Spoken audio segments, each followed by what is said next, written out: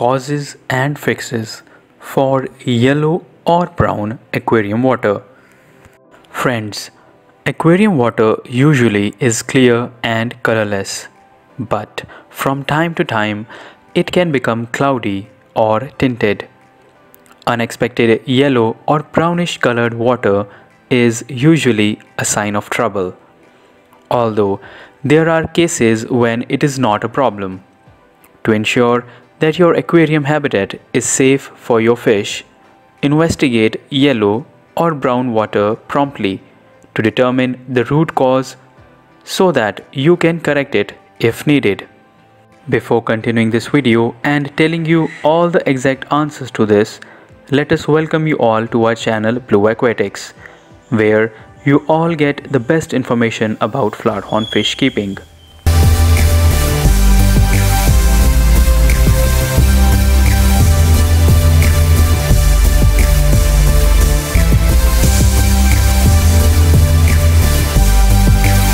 First, let's discuss about bacteria.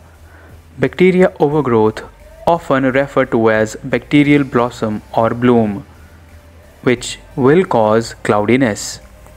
The water may appear to be grey or milky, but bacteria do not tint the water yellow, brown, or even green.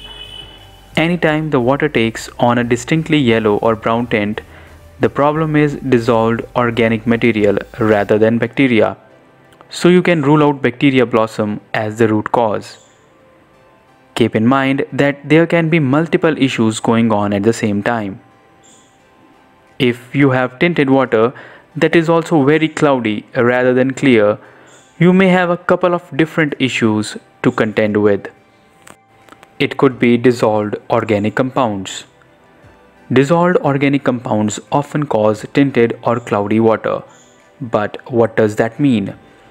Dissolved organic compounds are organic matter broken down in water. It could be fish waste, uneaten food that has decayed, decaying plant parts, or even dead decomposing fish parts. These sources can result in dissolving organic compounds in the water, which can change its makeup. These compounds ultimately impact the health of your fish. Over time, these compounds will contribute to change the water chemistry that can harm the fish. Dissolved organic compounds will also create unpleasant odors and make the aquarium look less attractive. Another reason could be tannins. The presence of tannins is one of the causes for brown or yellow water that is usually not a problem. Tannins are also present in driftwood, over time, they will leach into the aquarium water, staining it yellow to brown. Tannins lower the pH of the water and soften it. For some fish, this may be desirable and even recommended. This particularly true of fish from South America that requires soft acidic water to thrive and promote spawning. Now let's discuss some troubleshooting steps. A few indicators can explain the root cause of water discoloration and resolve the problem. The first step is to test the water and determine the pH, ammonia, nitrite and nitrate levels. Also, scrutinize the tank. Do you notice a lot of debris? Are there dead plants, uneaten food on the substrate, or perhaps even a missing fish that might be hidden somewhere and decomposing? Do you have any driftwood in the tank? Is the filter running normally? Does the water have foam on surface? If you take some water, put it in a closed container and shake it. Does it produce foam? Foam is an indicator of protein waste in the water. Now discuss about fixing the water discoloration. Once you have completed your tests and observations, you can determine the next course of action. First of all, discuss about tannins. An acidic pH along with driftwood in the tank is a strong indicator that tannins have leached from the driftwood. This is not a problem unless you keep fish requiring a significantly higher pH.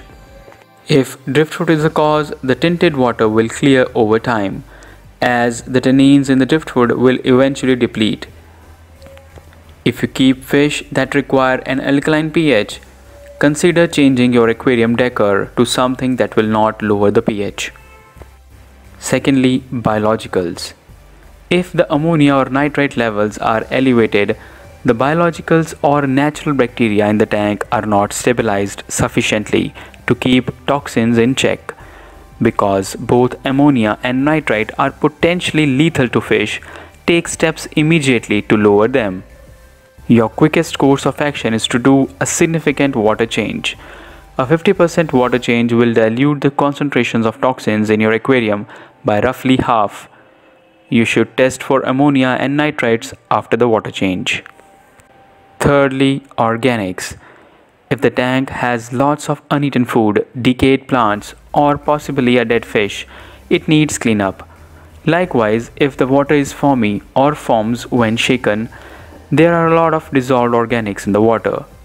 Clean things up by removing all decaying materials, such as uneaten food, dead plants, or a fish corpse. Vacuum the gravel and ensure the filter runs at standard output. If the filter is slow, odds are it's clogged with debris, another potential organic source.